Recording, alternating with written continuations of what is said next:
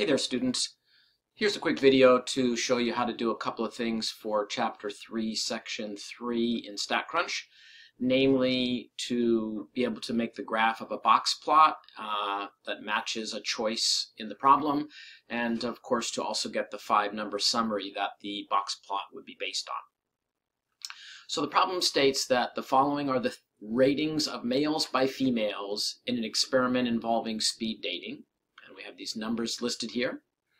Use the given data to construct a box plot and identify the five number summary. So we're going to have to do both of these. And then the first thing they're asking for is the five number summary. Um, but in StatCrunch, when you make a box plot based on a five number summary, it also shows you the five number summary. So we can use that one tool to do both things here. So I'm going to click on the little blue box and open this in StatCrunch.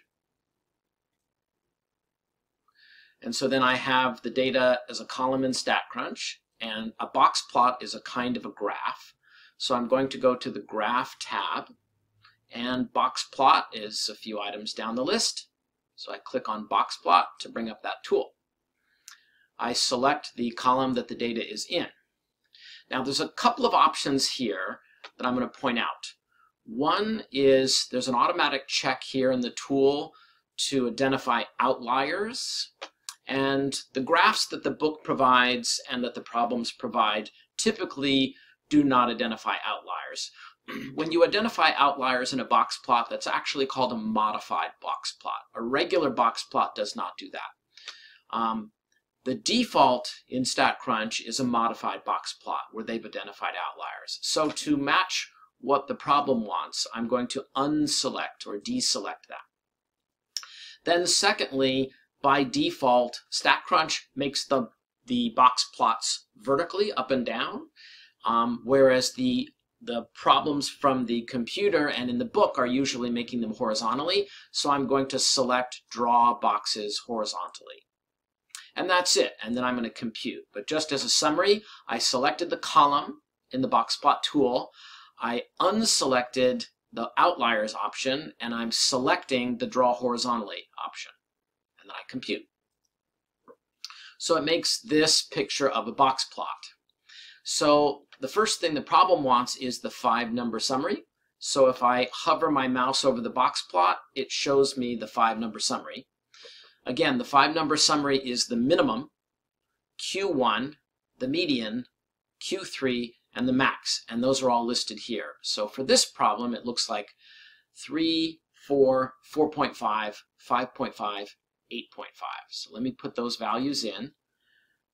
3, 4, 4.5, 5.5, and 8.5, I believe. Let me double check that. 4.5, 5.5, and 8.5. That looks right. So now we're supposed to choose the correct box plot. So I want to find the one that looks like this one here. Now the ones on the um, the computer problem as offerings are very sort of short. So I'm going to squish this down just to help it look more like the ones there because you can, you can stretch or scale the graph in StatCrunch as you like. Then I can see the starting value for the Q1 is at 4, and over here it's below 4. This one's at 4, this is below 4, this one's above 4. So the only one of these four where the Q1 is at 4, which is the value of Q1 in our five number summary, looks like is C. And so I could look at other things, but that's the only one that matches on that, on Q1. So that's it. And there you go. So hopefully that uh, quick little video will give you what you need to come up with a five number summary and a box plot using StatCrunch.